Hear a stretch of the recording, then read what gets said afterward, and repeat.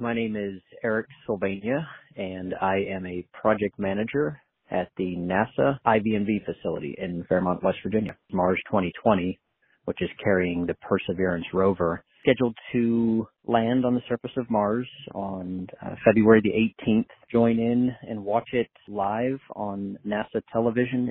This spacecraft, which includes the rover and this helicopter I'll talk about here in a, in a moment, uh, has been on a journey for almost seven months and over 300 million miles.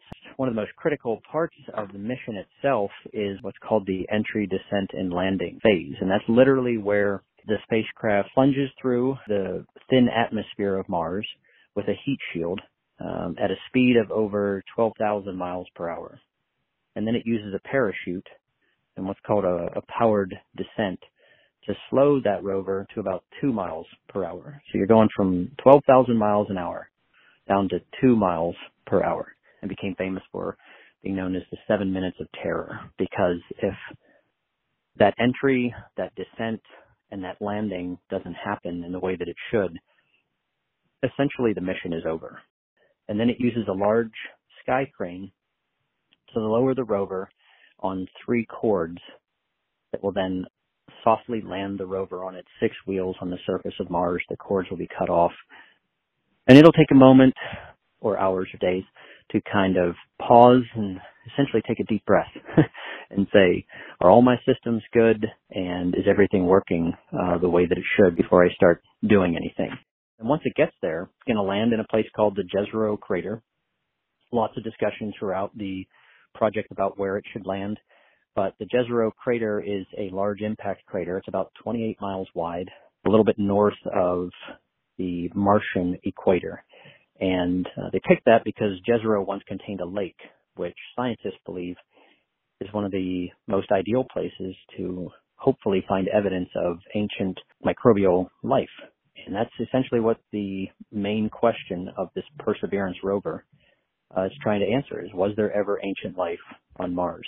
Once the rover checks itself out, it'll begin its efforts to collect and store rock and soil samples that will hopefully be returned to Earth by a future mission. So that's another key point is this is just one step in a long process of collecting, um, analyzing, and conveying certain amounts of information back to scientists here on Earth. The goal is to send future missions and potentially humans to collect those samples. One additional tidbit kind of late in the project was introduced called Ingenuity, and it's a really, really tiny, super lightweight helicopter that is attached to the underbelly of the rover. It's called a tech demo, so it's not tied directly to the mission objectives for Mars 2020. It kind of just taking a ride, and they're hoping to be able to demonstrate that you can have powered flight. In other words, a helicopter that is powered and flying through the atmosphere of Mars on another world for the first time. This would literally be history making uh, type of activity if if the helicopter does what it's supposed to. And it'll fly around through a series of flight tests over about a 30 Martian day uh, window and um, then convey some information back about what it sees and and how that goes.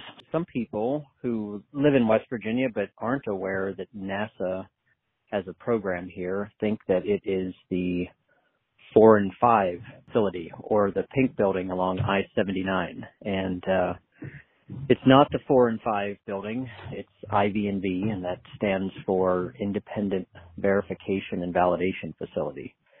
We are the program that's responsible for NASA or ensuring that their safety and mission critical software is the right software and it's going to do the right things.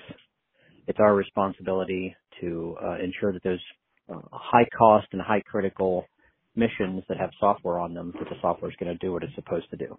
And um, it goes back to a tragedy that occurred back in the late 80s in 1986, and that's the Space Shuttle Challenger disaster. Essentially broke apart about a minute and 13 seconds into its flight, and unfortunately, all seven crew members lost their lives. So, coming out of that tragedy, the agency did a an investigation, an incident report, and essentially identified a number of things, but the ever increasing role and importance that software played in the work that the agency was doing. And so about, I guess about six or seven years later, in the early 90s, 1993, um, a grant was provided to West Virginia University to build what is now known as the IV&V facility. And so we've been around for a little over a quarter of a century.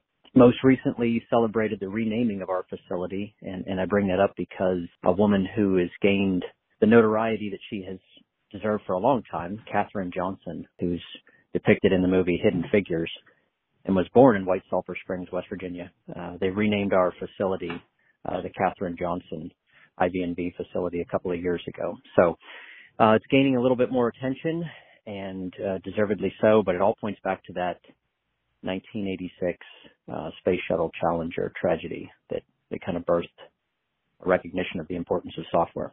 So our program, the IV&V program, has supported uh, a number of different Mars missions over the course of the last several decades. And it's all part of essentially a long-term plan by the agency to collect data and collect information about the planet Mars, the surface of Mars, its atmosphere, essentially to determine whether or not it would be habitable for humans. Yeah, we're all very excited about this mission that will, at least the landing will be culminating after six or seven months of traveling over 300 million miles. So the, the type of work that we do is focused on the software and the role that software plays what we term as mission critical or safety critical system capabilities. Throughout the life of a mission leading up to the launch going into the cruise phase as it makes its way to, in this case, its destination Mars. And then most importantly for uh, the Perseverance rover is the surface operations that are going to occur. We've been working on Mars 2020 for about six years, uh, starting back in late 2014. Science missions are generally shorter in duration, that's like the five to 10 year. NASA's human exploration humans back to the moon in 2024, which is uh, only three years away right now. Those efforts have been going on for decades upon decades, uh, following the um, space shuttle and then moving into other types of crew vehicles and then engaging with industry partners and people literally spend their entire career working on one rocket or one spacecraft or one crew vehicle. My job is day-to-day interaction with a team of five to 10 analysts who are looking at the software requirements, looking at the design, looking at the code and the testing of it, getting the right product for the agency that's going to fulfill its mission. In this case, for Mars 2020, getting that rover to the surface of Mars and then performing the surface operations. Starting with a team like I, I described, uh, it's essentially made up of people that have a background in either software engineering or computer science or one of the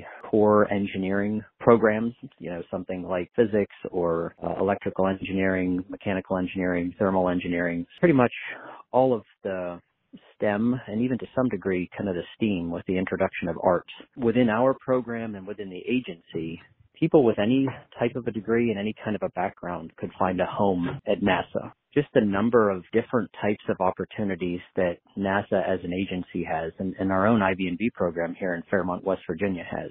There's a lot of work that's being done on the financial side. There's a lot of work being done on the scientific side. There's a lot of work being done on the engineering of the actual hardware. There's also work being done from a science perspective and why are we doing what we're doing, educational outreach. The exciting part to me personally is knowing that I'm part of something that is much bigger than just myself, my team, the program I work for, even the agency, that, that the purpose of what we do at NASA is intended to impact literally all of humankind. The science that is done, the technology that is developed. It's, it's that sense of being part of something that is much bigger than myself. And so being able to kind of lose yourself in that. So I find that very exciting.